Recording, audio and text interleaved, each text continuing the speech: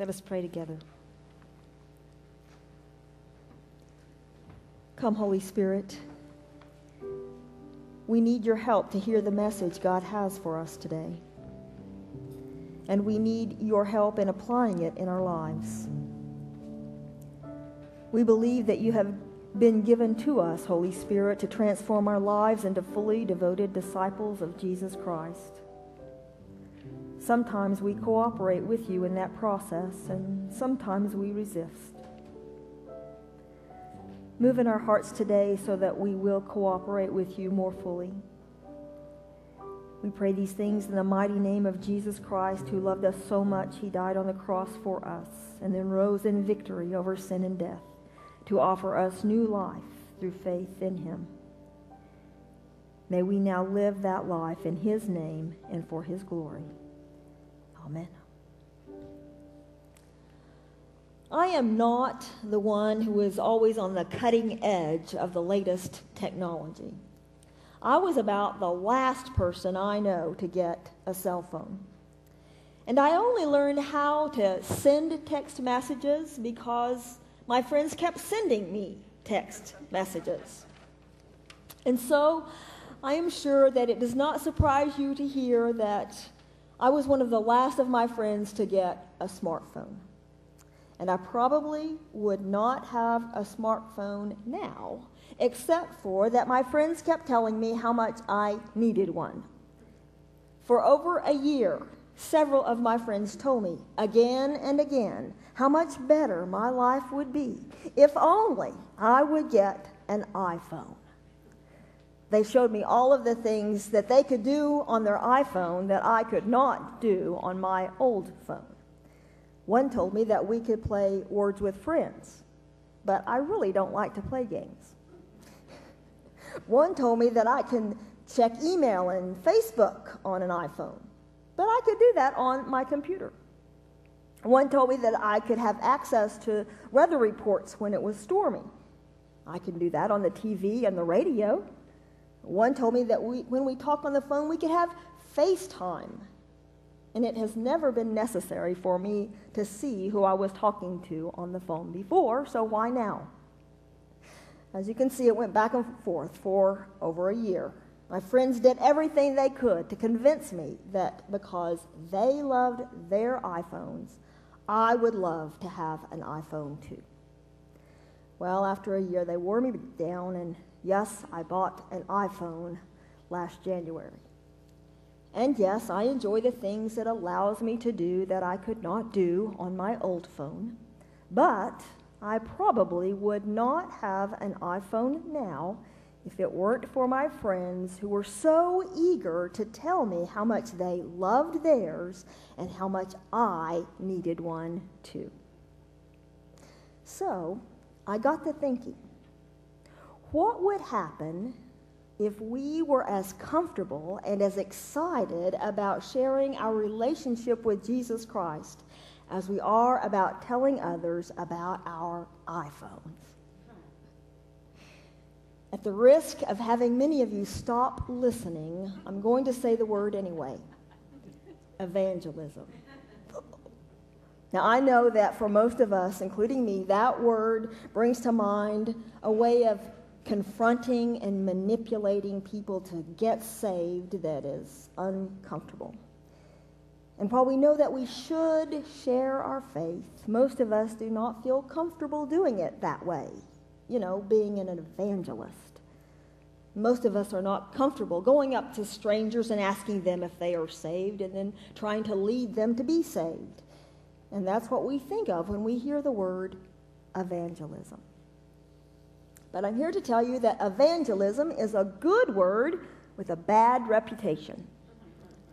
The word evangelism comes from the root word meaning good news.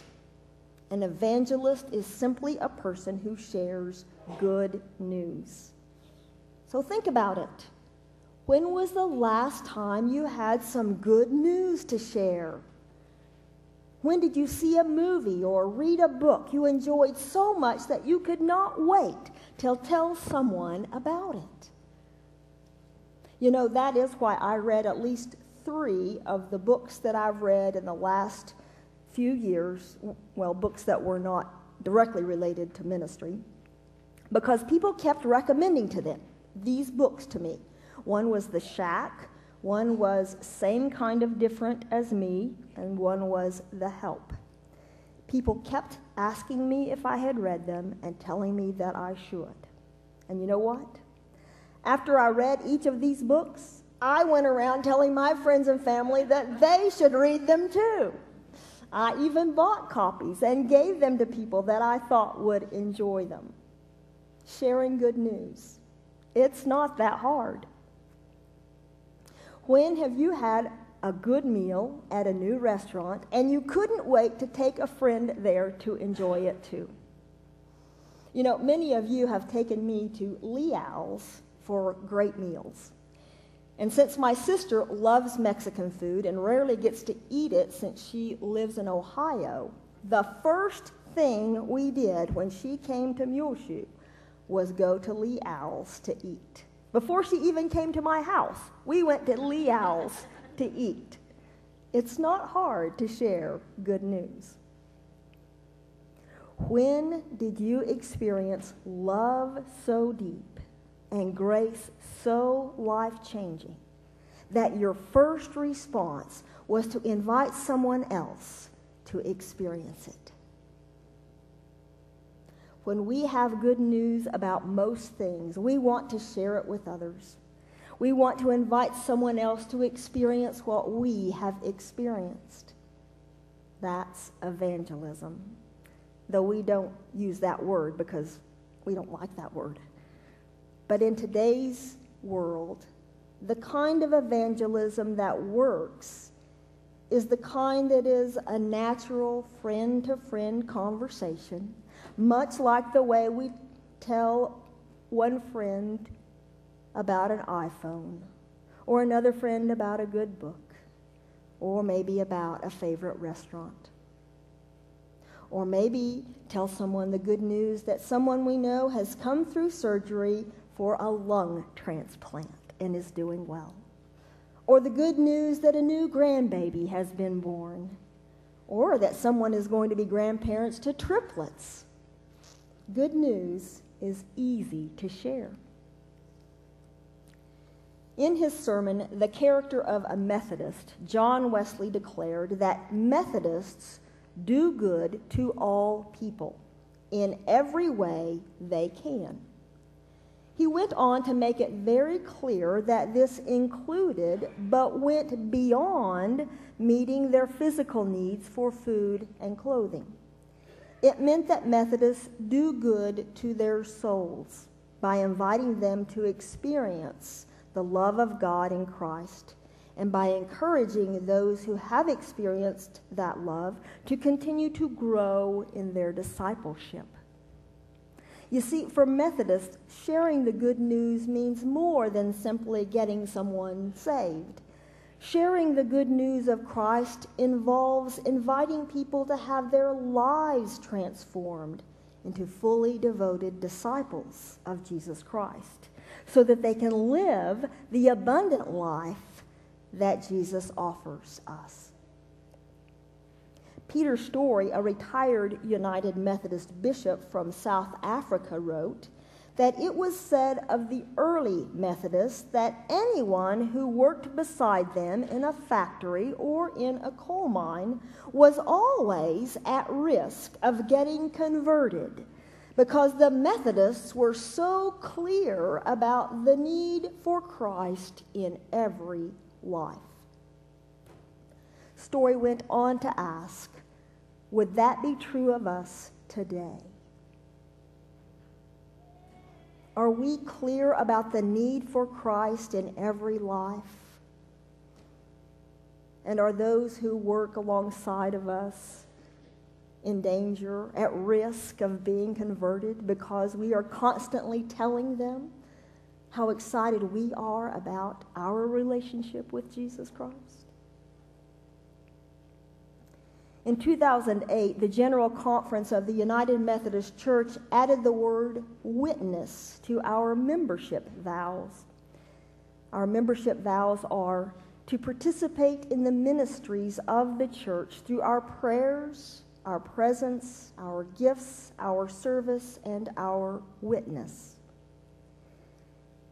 In addition, the addition of the word witness reminds us that each of us is called to be a witness to others of how the Holy Spirit is transforming our life into fully devoted into a fully devoted disciple of Jesus Christ. We are witnesses by the way that we live and by the way that we tell others the good news about Jesus Christ and how he makes a difference in our life. Now, I realize the idea that we are expected to be a witness for Jesus Christ by sharing our testimony is almost as uncomfortable for many of us as the word evangelism. I think this is because we imagine it to be much harder than it really is. You see, I'm not suggesting that you stand on the street corner and tell the entire story of your life, including every sin and how you repented of it and received forgiveness. I'm also not suggesting that you have to quote a scripture verse to prove everything that you might say about Jesus and what it means to follow him. Now, it is certainly helpful to know what the Bible says and how it relates to your life, but not knowing the exact verse and where it is found in the Bible should never keep you from sharing what Christ means to you. Being a witness for Jesus Christ simply means being willing and able to share with someone what Jesus means to you, how your faith in Christ makes your life better, how you have experienced Christ's presence, His love, His grace. Your witness is simply what you have experienced in your relationship with the Lord. And if you can tell it in plain, simple words, that would be great. After all, that was the approach that Jesus and the first disciples followed. They used plain, simple words to invite others to follow Jesus. Let's read about it in the Gospel of John, chapter 1, verses 35 through 46. Our passage for today, John 1, 35 through 46. And if you're using the Pew Bible, the passage is found on page 1647. If you'd like to follow along in the Bible or the words will also be on the screen.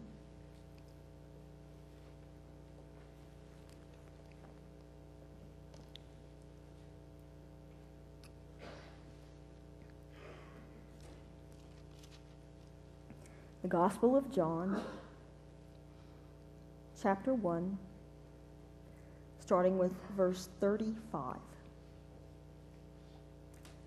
The next day, John was there again with two of his disciples.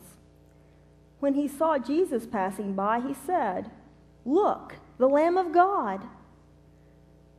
When the two disciples heard him say this, they followed Jesus. Turning around, Jesus saw them following and asked, What do you want? They said, Rabbi, which means teacher, where are you staying? Come, he replied, and you will see. So they went and saw where he was staying and spent that day with him. It was about the tenth hour. Andrew, Simon Peter's brother, was one of the two who heard what John had said and who had followed Jesus. The first thing Andrew did was to find his brother Simon and tell him, We have found the Messiah, that is, the Christ and he brought him to Jesus. Jesus looked at him and said, You are Simon, son of John. You will be called Cephas, which, when translated, is Peter. The next day, Jesus decided to leave for Galilee. Finding Philip, he said to him, Follow me. Philip, like Andrew and Peter, was from the town of Bethsaida. Philip found Nathanael and told him, We have found the one Moses wrote about in the law and about whom the prophets also wrote, Jesus of Nazareth, the son of Joseph. Nazareth? Can anything good come from there? Nathanael asked. Come and see, said Philip. This is the word of God for the people of God. Thanks be to God. Now, the John in the first verse is John the Baptist, not John the Apostle, but John the Baptist, who also had disciples who followed him. John was a great prophet of God, but he knew that Jesus was the one they had all been waiting for, the one that he had prepared the way for. God had shown John that Jesus is the Son of God. And so when he saw Jesus passing by, he said to his disciples, Look, the Lamb of God. In other words, John told his disciples that Jesus was the one that they had been waiting for, the one that they should follow. John was a witness to his disciples that they should follow Jesus instead of him. Notice that what he said was short and simple. Now, he could have quoted Old Testament scriptures all day about the Messiah, but instead he simply said, Look, there he is, the one from God, the one you have been waiting for. You should follow him. When these two men started following Jesus, he turned around and asked, What do you want? Notice that Jesus did not start preaching to them, he only asked them a question. And the answer was, Rabbi, where are you staying? In other words, they acknowledged him as a teacher and indicated their desire to spend time with him so that they could learn from him. In response, Jesus did not give them a long lecture.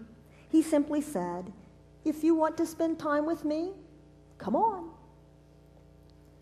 After spending a short time with Jesus, one of these two, Andrew, went and found his brother Simon and told him, We have found the Messiah. Andrew was a witness to Simon, but again, he did not tell a long story. He simply said, We believe we have found the Messiah. Come with me to meet him and see if you agree. And Simon went with him. The next day, Jesus found Philip and simply said to him, Follow me. And Philip then found Nathanael and told him in his own words about Jesus. Well, Nathanael doubted that Jesus could be who Philip thought he was, but Philip did not argue or try to prove his point. He simply said, Come and see. In other words, Philip said, I believe Jesus is someone very special, and I think that if you get to know him, you will think so too. Why don't you come and see for yourself? In this passage, notice how many different people share the good news.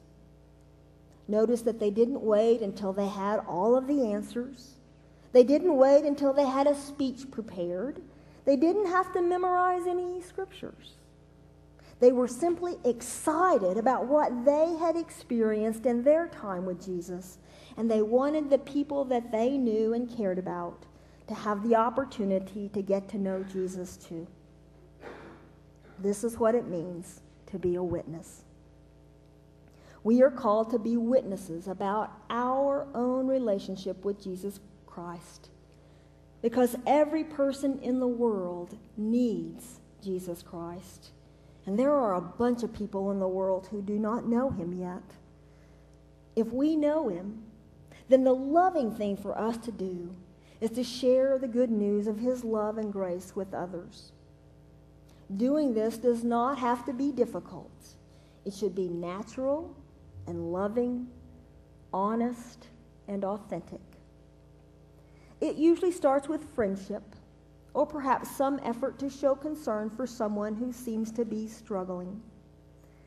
When your path crosses someone who needs to hear about Jesus, often the best place to start is by listening to the other person's story or problem or questions.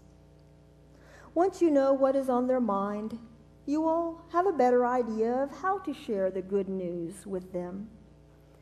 It could be as simple as telling someone that when you have experienced the kind of hopelessness that they are feeling, you have found hope through prayer. Or When you have questions about God's love, you read the story of Jesus in the Gospels. Or when you feel alone, you find comfort and support from your Sunday school class or from attending worship. Remember, the role of a witness is not to argue the case or to judge the outcome, but simply to tell what they heard, saw, or experienced. Can you tell the story of your relationship with Jesus in simple, clear, and concise way?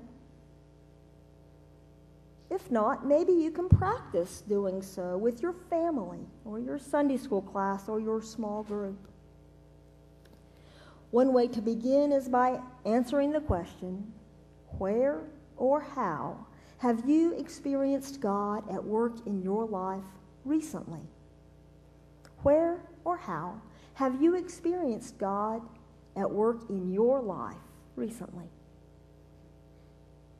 Asking and answering this question, or others like it, with fellow disciples that you are comfortable talking about your faith with, will help you prepare to be able to share the good news of Jesus Christ with others when the opportunity presents itself. After all, you do know how to share good news. You do it all the time. If you can tell someone about a book or a movie or an iPhone, then you can also tell them about how knowing Jesus makes your life better. Because no matter how great having an iPhone is, it certainly cannot compare to the difference having Jesus in your life means. That is the best news ever. So let's learn how to share this good news with others who need to hear it. Amen.